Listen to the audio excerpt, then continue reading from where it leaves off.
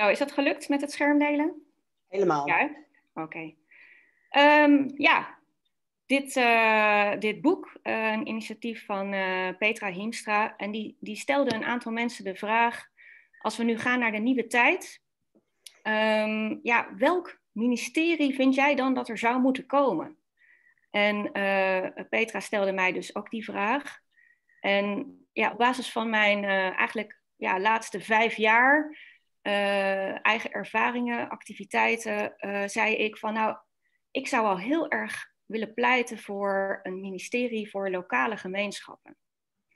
En um, nou, ik zal uh, even vertellen hoe ik daar zo uh, toe kwam.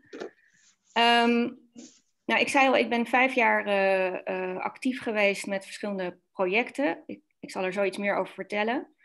Um, en die hebben mij echt steeds meer overtuigd dat op lokaal niveau heb je gewoon de menselijke maat. Uh, je, je kent je buren, je weet de gezichten van de bakker waar je op bezoek gaat. En uh, je kent je huisarts. En mensen um, ja, hebben toch heel wezenlijk diep van binnen behoefte aan, die, aan dat menselijke contact. Um, dus dat vind je gewoon lokaal. Um, ja, net zo'n diepe behoefte is die verbinding die mensen voelen. Niet alleen met andere mensen, maar ook met de plek waar ze wonen. Um, waar je je thuis voelt. Um, het landschap wat daarbij hoort. Met uh, uh, de appels die daar van de bomen komen. Die verbinding is, is ook iets wat mensen ja, heel goed gevoel geeft. Nou, een ander aspect van lokale gemeenschappen is dat de schaalgrootte en lokale gemeenschappen, dan, dan denken we aan uh, wijken of dorpen. Schaalgrootte is nog net um, niet te groot om ook complexe vragen integraal um, te benaderen. We zijn um, in onze maatschappij uh, gewend geraakt dat er voor alles een eigen uh, ja, specialisme is. Um, een ja, aparte tak van sport die daar iets over zegt of daar iets voor doet. Uh, maar mensen zijn gewoon niet, um, ja, die zijn van nature eigenlijk integraal. Met integraal bedoel ik dat, ja, samen, de samenhang. Um, dus iemand die schulden heeft, die heeft bijvoorbeeld ook vaak last van stress en uh, gezondheidsklachten. Um, en ja, dit is ondertussen wel een bekend eh, voorbeeld.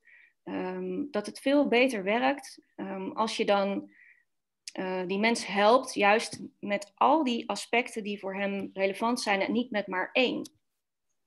Nou, ook voor een gemeenschap geldt dat de gebiedsdirecteur uh, van Rotterdam, die wij in het project waar ik bij betrokken was, samen beter spraken, die zei ook, ja, wij merken op stedelijk niveau zijn die complexe vraagstukken gewoon niet meer behapbaar.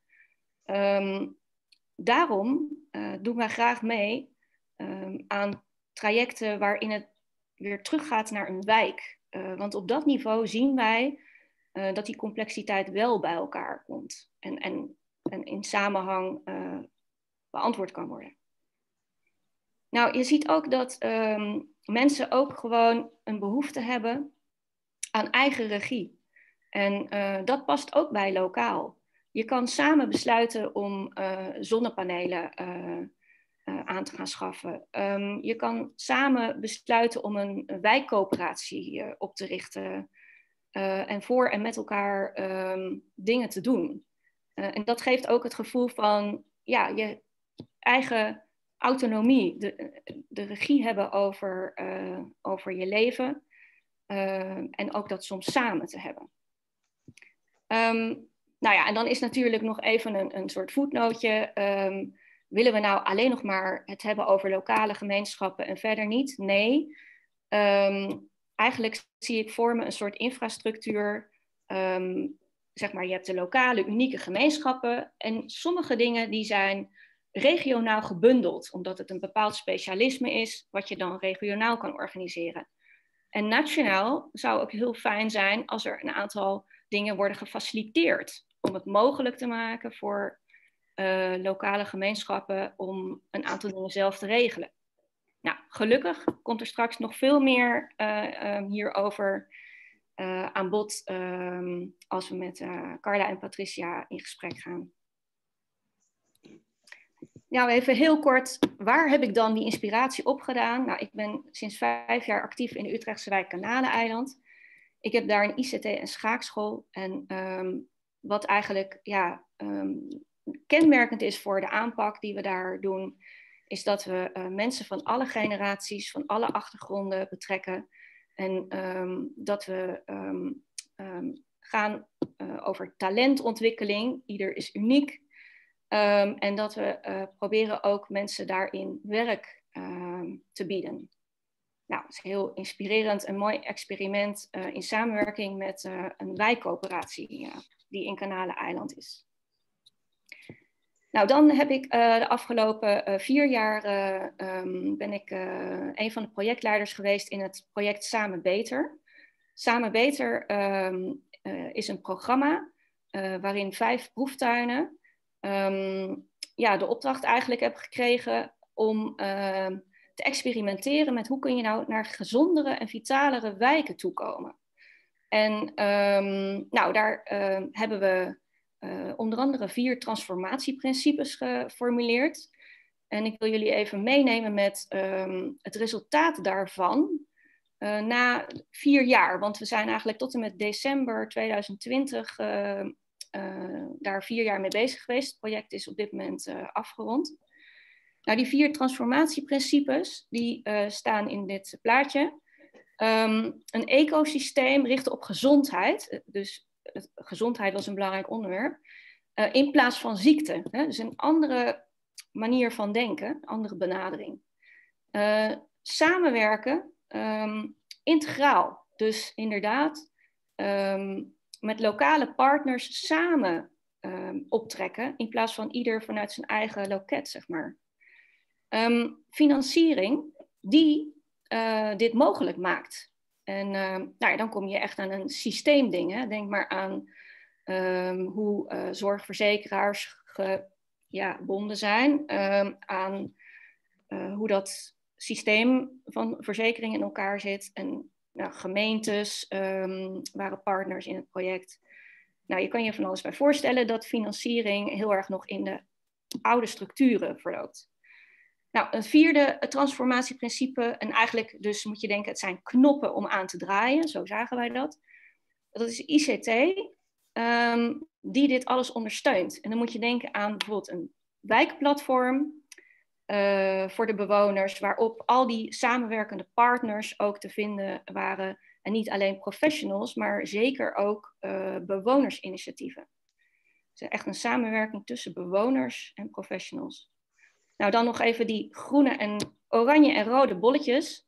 Dat zegt iets over wat wij na vier jaar konden zeggen over het succes. Um, wat er bereikt is in die wijken. En dan zie je dat um, het meest succesvolle um, was samenwerken integraal voor elkaar krijgen. Je merkte dat uh, in uh, heel veel organisaties er toch wel mensen waren die verlangden naar meer integraal. De koplopers. En um, die gingen elkaar vinden, uh, gingen meer als een netwerk opereren. En daar ontstond ontzettend veel energie. En dat was eigenlijk, werd het de drijvende kracht. Nou, het andere wat um, ook heel goed lukte, is dat ecosysteem richt op gezondheid. Annemarie, kom Annemarie even tussendoor, want dit sluit aan bij een vraag die ik lees in de chat. Ja? Over welk type ecosysteem spreek je? Wat bedoel jij precies met ecosysteem? Ja, ecosysteem. Uh, ook, ook, wel systeem. Um, ja, eigenlijk de, de maatschappelijke uh, orde. Dus een, uh, het ecosysteem is een andere maatschappelijke orde in het project Samen Beter. Oké. Um, nou, daar is zeg maar dus ook behoorlijk veel succes geboekt om meer preventief en um, op gezondheid zeg maar in te steken. Um, dan linksonder de ICT die dat allemaal ondersteunt.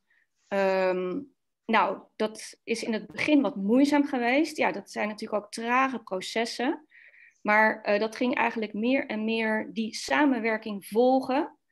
Ehm, dus als de samenwerkende partners eenmaal vonden van ja, wij willen wel een gemeenschappelijk platform inrichten.